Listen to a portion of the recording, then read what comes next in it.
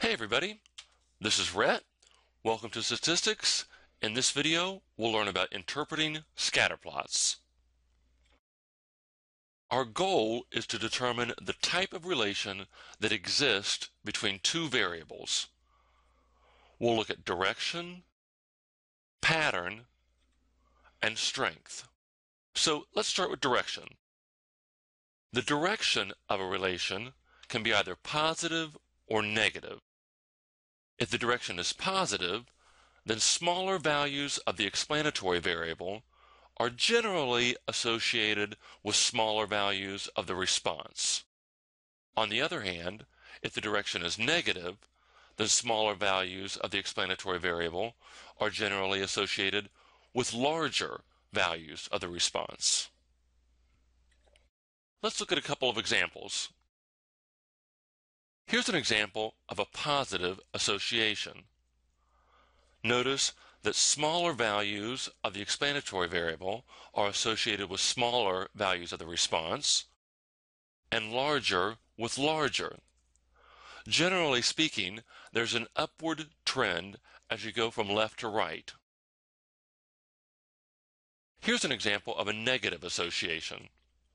Notice that smaller values of the explanatory variable, which would be on the x-axis, are associated with larger values of the response variable, which is on the y-axis.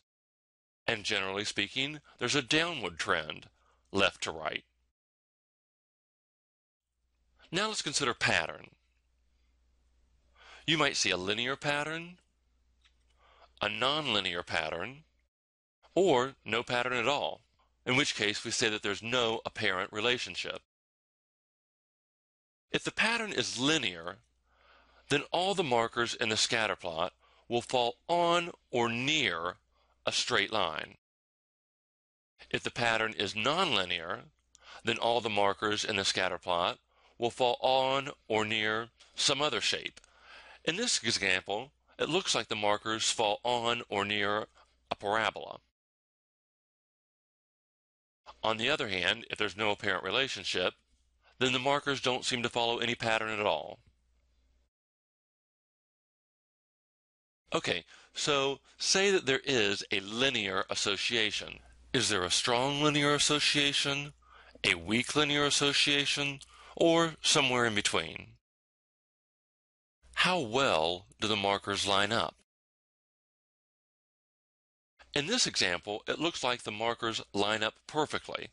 And in fact, this is a perfect negative linear association. In this example, the markers don't exactly line up, but they're pretty close. All the markers fall within a very narrow band. This is an example of a very strong positive linear association. It's not perfect, but it's pretty close. In this example, the markers aren't lining up quite as well.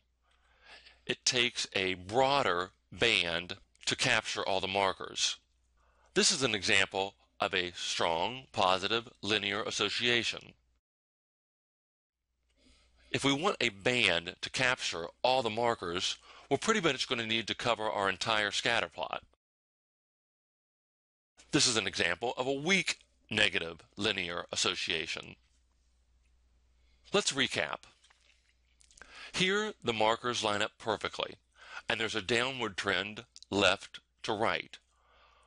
Smaller values of the explanatory variable are associated with larger values of the response.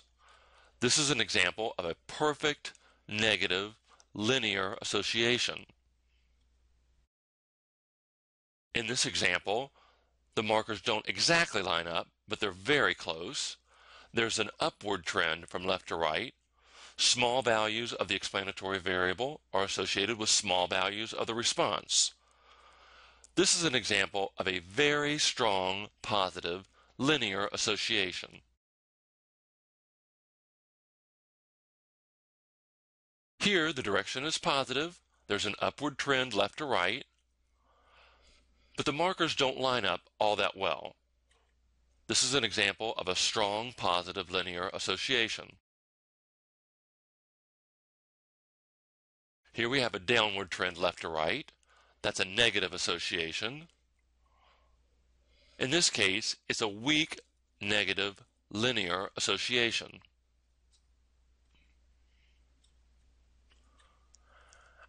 And finally, in this example, it's hard to determine either a pattern or a direction.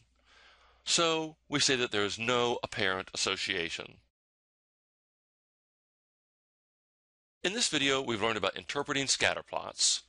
We discussed direction, which can be either positive or negative, pattern, which could be linear, nonlinear, or no apparent association.